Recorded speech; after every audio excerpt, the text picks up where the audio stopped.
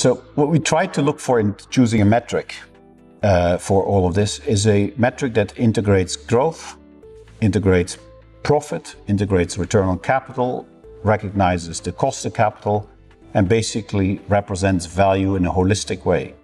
And it happens to be that economic profit integrates all. The size of economic profit has to do with your margin, return on capital, and cost of capital.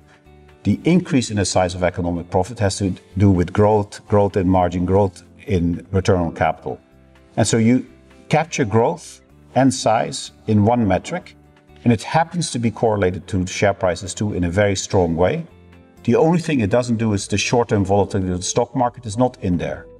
And in a strategic discussion, the stock market can't be the relevant discussion. It's just too volatile for the individual company and too big for the individual company to influence. So economic profit is, in a way, kind of easy. It's your operating profit after tax minus the cost of capital times your capital. So it's basically the excess absolute margin that you make after you pay your capital.